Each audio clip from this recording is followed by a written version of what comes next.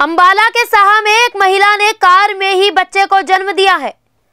आपको बता दें कि महिला अपने परिजनों के साथ अस्पताल पहुँची थी, लेकिन यहाँ पीएचसी समलेडी के गेट पर ताला लगा हुआ था।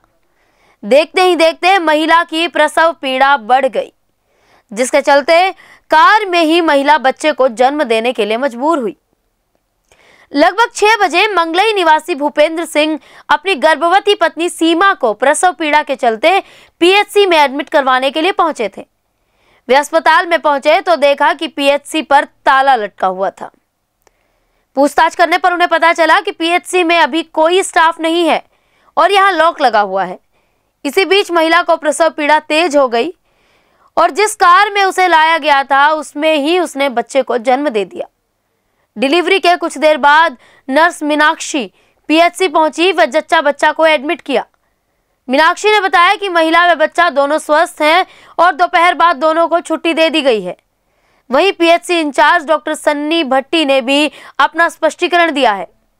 उनका कहना है कि उनकी नाइट ड्यूटी मुलाना में थी। उन्हें जब मामले की जानकारी मिली तो वे सुबह ही सीएचसी पहुँच गए थे। लेकिन तब तक डिलीवरी हो चुकी थी। उन्होंने कहा कि पीएचसी समलेडी में स्टाफ की कमी है। वही महिला के पति भूपेंद्र सिंह ने बताया कि पीएचसी में ताला लगे होने से पत्नी व बच्चे के साथ कोई अनहोनी हो सकती थी। भूपेंद्र ने बताया कि वह मामले की शिकायत स्वास्थ्य मंत्री अनिल से कर समलेडी पीएचसी इंचार्ज के खिलाफ कार्रवाई की मांग करेंगे। समाचार एक्सप्रेस की रिपोर्ट। ऐसे ही लेटेस्ट खबरें पाने के लिए बेल आइकन को क्लिक कर हमारे चैनल को लाइक, शेयर एंड सब्सक्राइब करें। धन्यवाद।